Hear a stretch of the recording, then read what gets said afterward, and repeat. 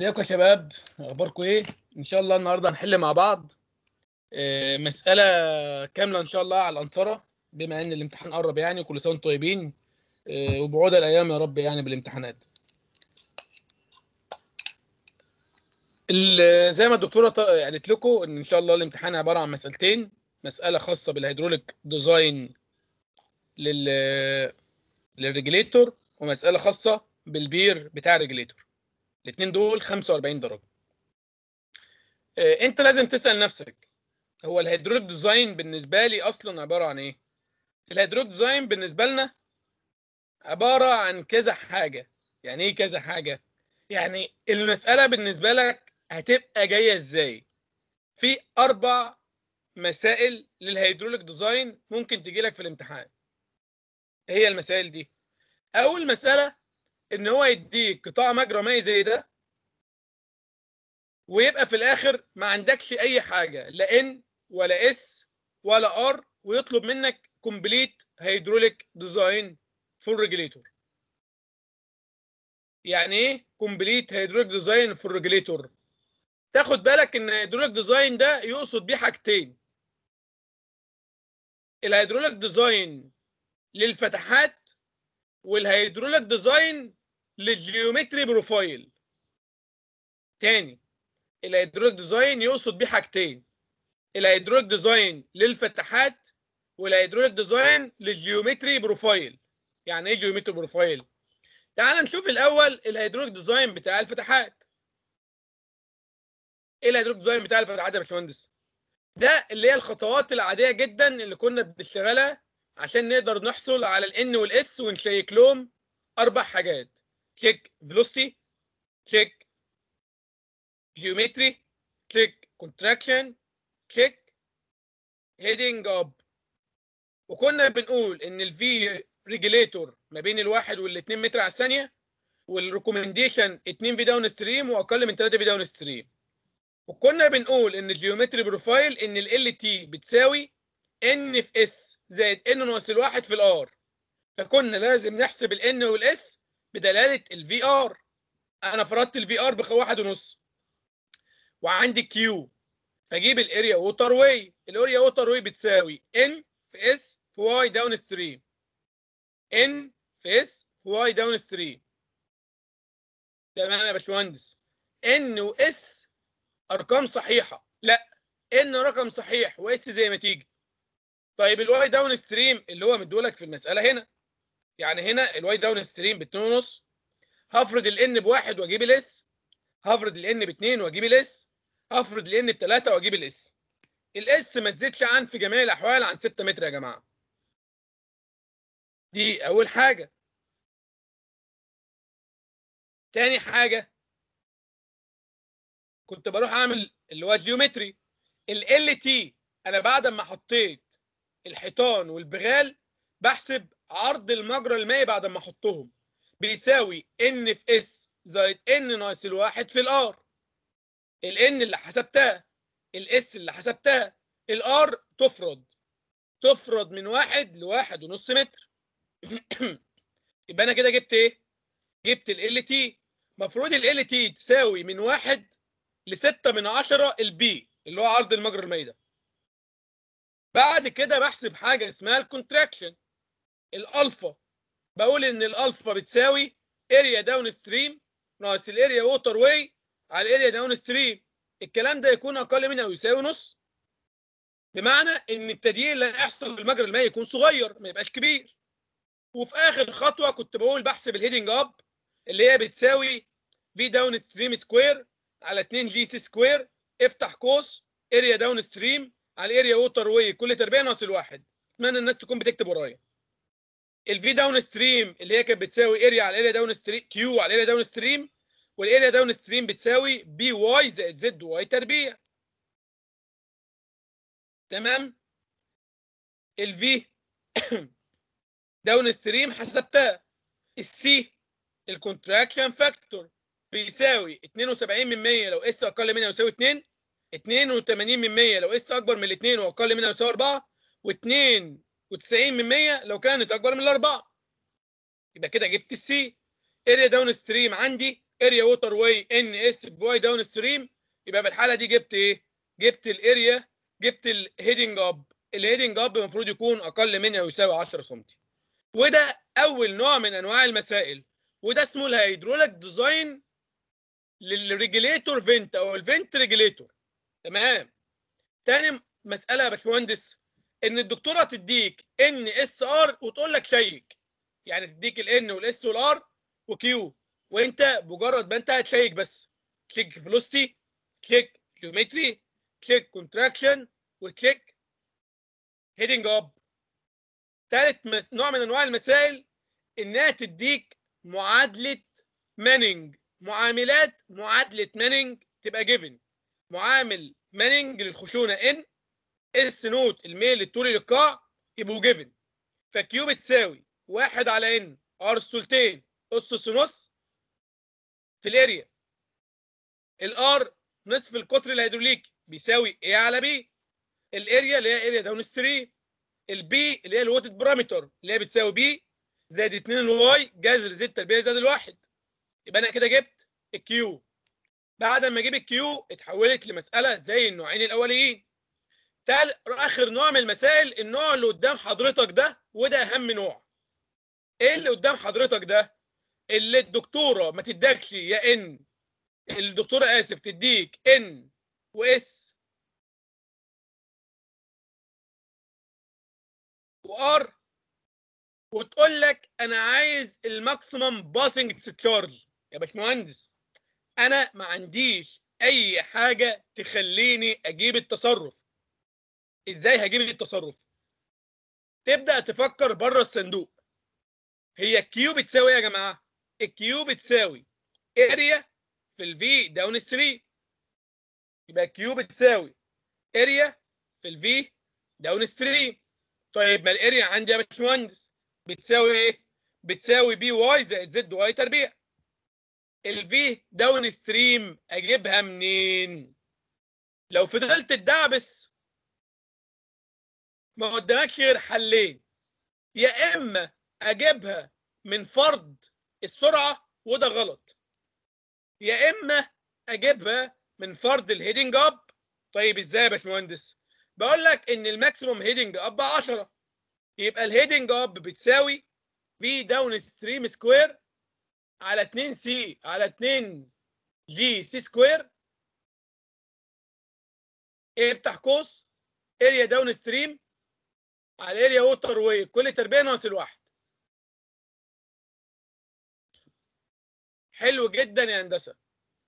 كله given ما عدا ال V downstream جبت ال V downstream ضربت ال V downstream في ال area downstream كده جبت التصرف اللي هو عايزه. طيب المطلوب بالهيدروليك ديزاين للريجليتور يقصد بالهيدروليك ديزاين للريجليتور ببساطة جدا يا جماعة.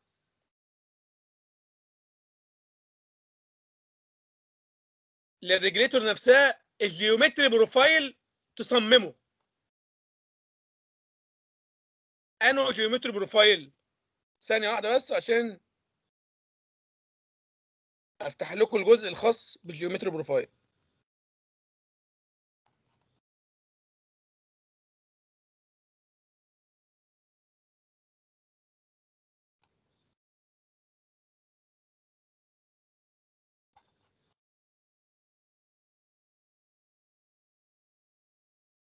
الشكل اللي قدامكم ده يا جماعة هو ده ال geometry profile.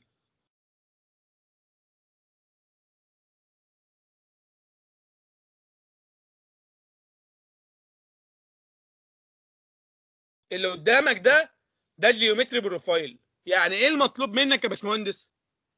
ال hydraulic design بتاع ال geometry profile إنك تصمم الجزء ده إنك check scouring check percolation check thickness إنك check stability exit gradient فال hydraulic design ببساطة جدا. أهو أنا أعمل يعني أقفل لكم ده. يعني عشان تفهموا إيه المطلوب بال hydraulic design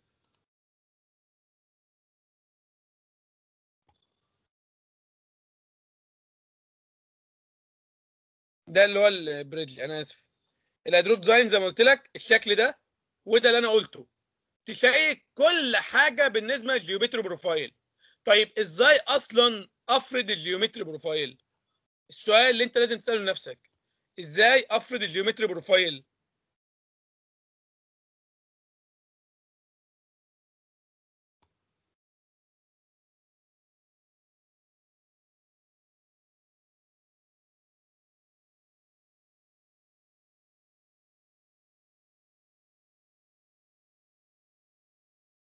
ده ال geometry profile يا جماعة. إيه ده يا باشمهندس؟ ده ده بالنسبة لنا شكله زي الهدار بالظبط. بالظبط هو زي الهدار. بس الفكرة إن أنت محتاج تجيب حاجة جديدة فيه. إيه هو؟ الجزء بتاع ال pier. فال geometry profile ده تاني مطلوب في ال في ال في الامتحان. ال geometry profile إنك ترسم له الرسمة دي. طيب أرسمها إزاي؟ والله يا هندسة إحنا عندنا مسافة L واحد. وبعد كده عندنا مسافة L pier. وبعد كده عندنا مسافة L scouring يبقى أنا عندي L واحد L pier L scouring حلو جدا يا باشمهندس. عندي السمكات عندي ال T واحد عندي ال T اتنين عندي ال T تلاتة وعندي ال T أربعة. طيب أنا لما أجي أبدأ هندسة أفرض ال geometry profile زي ما كنت ببدأ في حالة الهدار. L واحد من 3 ل 5 متر. L pier بجيبها بدلالة أبعاد ال pier. إيه الأبعاد اللي بجيبها بدخلتها يا جماعة؟ ركز معايا عشان دي مهمة جدا.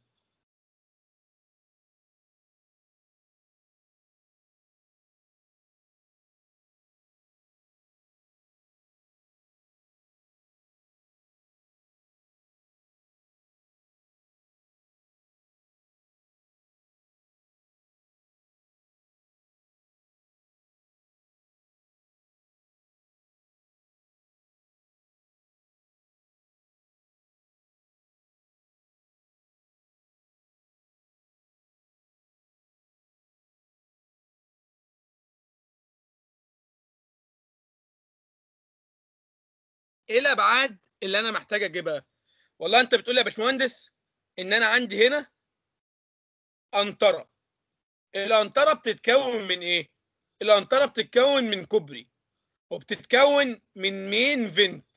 وبتتكون من ايمرجنسي فينت. وبتتكون من ايمرجنسي فينت. خد بالك أنا عندي واحدة بس هنا. قنطره واحدة هنا اللي هي دي. وعندي هنا قنطرتين اللي هي دي وهي دي. مالكش دعوة بالمنقط ده. الحيطة هنا كانت sloped لكن الطبيعي إن هي تبقى عندنا في المسائل box طيب في الحالة دي يا باشمهندس لو أنا قلت لك عايز أجيب L pier تتحسب إزاي؟ ببساطة جدا.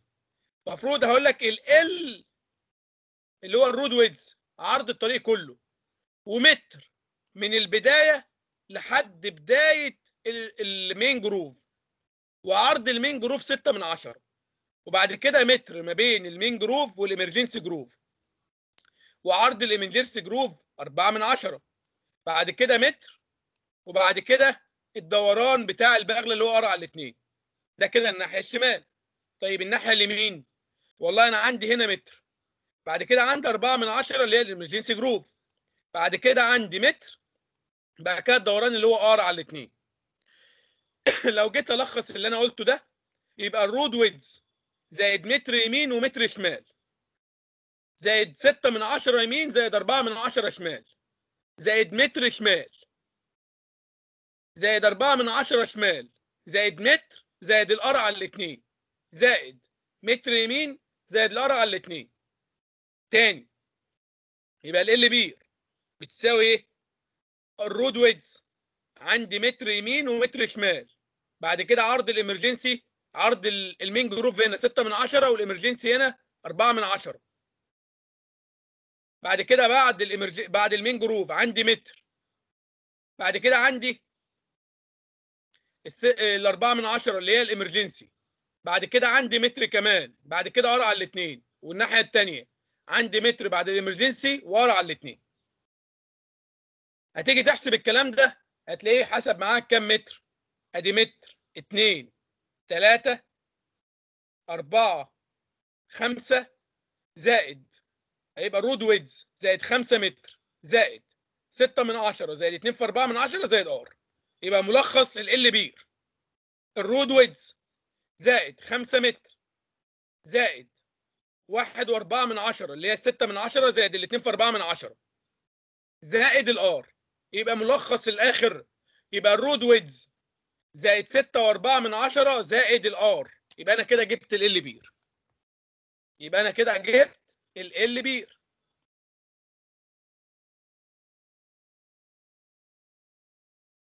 يبقى أنا خلاص كده يا باشمهندس معايا L pier.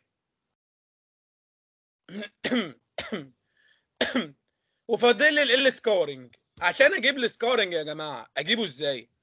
ال scouring ببساطة جدا بحسبه بدلالة ال scouring equation طيب ال scouring equation حاجة من الاثنين اهي أدي ال scouring يا تقول لي L jump يا تقول لي القانون بتاع point 6 1 سي بي جاز ريتشز طيب تعال نشوف L jump إيه اللي عندك يا باشمهندس؟ أنا فتحت الفتحة دي فتحة جزئية. ال Y 2 معايا اللي هو ال Y downstream ال Y 1 مش معايا. طيب أجيبه إزاي؟ هقوم قايل له إن ال Y 2 Y 1 على Y 2 بتساوي نص جذر 1 زائد 8 Froude 2 تربيع ناقص الواحد. ال Froude 2 تربيع بيساوي V 2 تربيع على ال G في ال Y 2 ال V 2 بإيه؟ Q على ال area.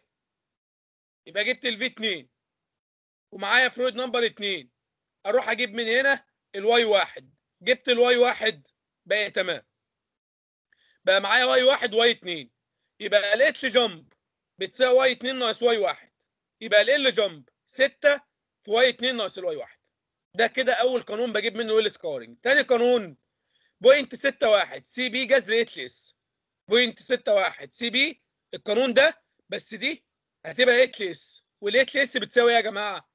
ال Hs بتساوي ال upstream high water level ناقص ال Y critical ناقص ال bed level طيب ال Y critical ال Y critical والله هندسة بتساوي الجذر التكعيبي ل Q تربيع على G في ال B تربيع. معاك ال Q معاك ال B ومعاك ال G حسبت ال Y critical ومعايا ال bed level ومعايا ال high water level في ال upstream حسبت ال Hs وأجيب Ls دايما L jump بتيجي بدلالة ال hydraulic jump طيب بعد ما اخلص كده يا جماعة خلاص. أنا كده عرفت إيه؟ عرفت إيه L واحد بخمسة؟ عرفت إيه L pier؟ وعرفت إيه L scouring نفترض إن هو 33 40 20 25 حسب بيطلع. طيب نبدأ نفرض السمكات الرئيسيه والله يا هندسة أنت كنت بتقول لي إن أنا عندي أربع سمكات T 1 2 3 4 كنت بفرضهم كده. ال T 1 بواحد متر التي 2 من 2 ل 2 ونص التي 3 من واحد لواحد ونص والتي 4 بفرضه من واحد لواحد ونص من التي 2 فهو هنا قال لك التي 1 بمتر والتي 2 ب 2 متر الثلاثه بواحد ونص والأربعة واحد ونص تي 2 ب 3 متر. طيب المسافات الأفقية دي دي فرض. بمعنى والله أنا فرض دي خمسة فهاخد جزء منها ثلاثة وبعد كده اتنين لحد ما أبدأ البير فبقت هنا ثلاثة بعد كده عندي 19 و7 بعد كده عندي الجزء اللي هو قبل تغيير السمك. طيب قبل تغيير السمك المسافة دي كام؟ براحتك. انت والله قايل ان دي 24 متر فأنا هاخد دي 12 واخد المسافة دي 11 واخد السمك ده واحد. حسب ما انت عايز زي الهدار بالظبط. يبقى أنا كده تاني خطوة في الحل. خطوة فرض الأبعاد بعد السكورنج. طيب ليه بعمل كده عشان أشيك percolation؟ كنت بشيك percolation إزاي يا جماعة؟ كنت بقول إن ال percolation عبارة عن ال C Bligh في ال H maximum ال C Bligh ب 15 ال H maximum تطلع زي ما تطلع. طيب ال H maximum تيجي إزاي؟ تيجي من أربع حالات. ثلاث حالات تشغيل وحالة الصيانة. حالة الصيانة في حالة ال regulator حالة الصيانة في حالة ال regulator بتيجي إزاي؟ بتيجي من upstream normal water level ناقص ال bed level تاني. ال upstream norm آه آسف low water level طيب ليه بقول ال low water level ليه بقول ال low water level لأن ببساطة جدا يا جماعة أنا ما ينفعش أعمل حالة صيانة والقنطره شغالة بمنسوب عالي. فأنا بستنى المية لما تهدى وبعد كده أعمل حالة الصيانة. طيب ما ادانيش ال low water level بشتغل بالمنسوب اللي هو مديهولي. بشتغل بالمنسوب اللي هو مديهولي. تمام؟ يبقى أنا جبت كده ال H maximum جبت ضربتها في ال C Bligh طلع الرقم ده. أبدأ أجمع بقى. أجمع رأسي وافقي إذا كأني شغال هدار.